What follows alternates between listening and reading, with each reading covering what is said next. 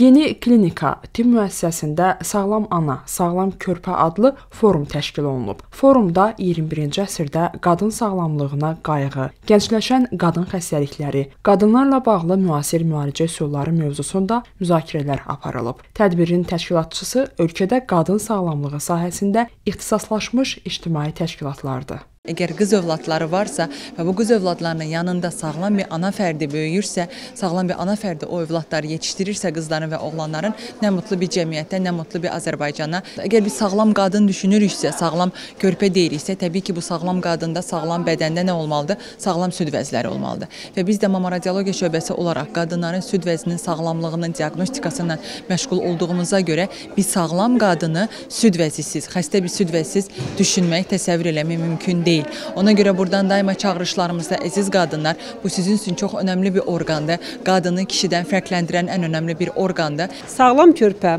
sağlam ana deyəndə təbii ki, uşağın sağlam böyüməsi üçün sağlam süd vəzindən qidalanmalıdır, ana südündən qidalanmalıdır ki, uşaq sağlam böyüsün. Birinci mərhələdə süd vəzi xərçəngi aşkar olunan zaman 98% halda tam sağalma mümkündür və bir şey də qeyd edim ki, ə, əksər xanımlarımız elə düşünürlər ki, əgər süd vəzisində məmə kanseri varsa, artıq xanım süd vəzisini itirəcək.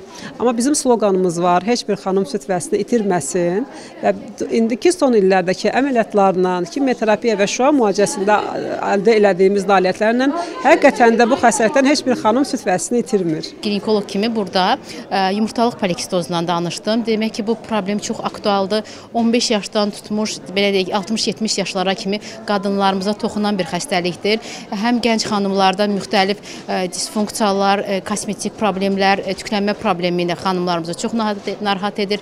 İrəliləyən yaşlarda ə, sonsuzluğa səbəb olur. Yəni bilirik ki, sonsuzluğun böyük bir hissəsini polikistoz öz üzərinə götürür. Tədbirdə ölkəmizdə dövlət və özəl sektorda səhiyyə sahəsində fəaliyyət göstərən və öz aktiv fəaliyyəti ilə fərqlənən tibb işçiləri və həkimlər də iştirak edib. Spikerlər dinləyicilərə ginekologiya, hamiləlik və körpəyə düzgün qulluq haqqında faydalı məlumatlar çatdırıblar. Çıxış elədiyim mövzu HPV human papillom virusdur. Bu insan orqanizmində törədilən bir virus xəstəliyidir, hansı ki, daha çox xanımlar arasında uşaqlıq boynu xərçənginin yayılmasını sürətləndirən bir virus növüdür və bir çox xanımlarımızın həm cinsi orqanlarını itirməyinə qədər gətirib çıxardan, eyni zamanda insan orqanizmində törətdiyi ciddi bir problemlər nəticəsində öz həyatlarını belə itirə bilərlər. Ümumiyyətlə bütün dünyada artıq təsdiqini tapıb ki, uşaqlıq boynu xərçəngi məhz HPV virusunun təsiri nəticəsində yaranır.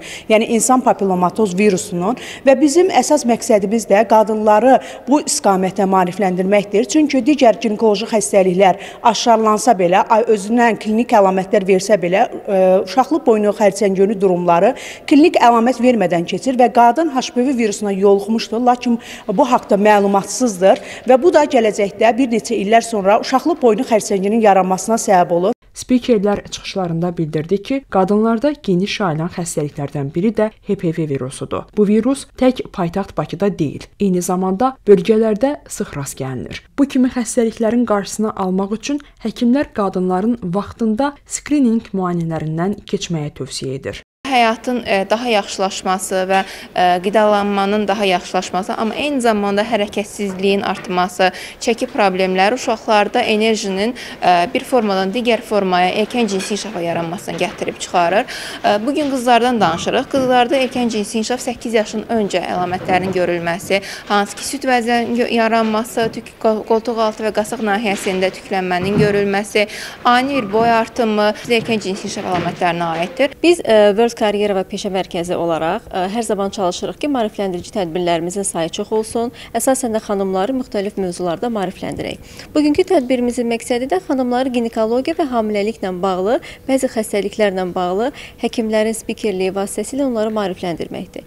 Dəyərli həkimlərimiz bu gün onkologiya ilə bağlı, ginekoloji problemlərlə bağlı, hamiləlik dövründə xanımların rastlaşdığı problemlərlə bağlı bu gün onları maarifləndirdilər. Tədbirdə eyni zamanda uşaqlarda tez-tez rast gəlinən vaxtından əvvəl cinsi inkişafdan da danışılıb. Sonda həkimlər iştirakçıların suallarına cavablandırıb. Şahnun Qasımova, Səbuhi Mustafayev, STV xəbər.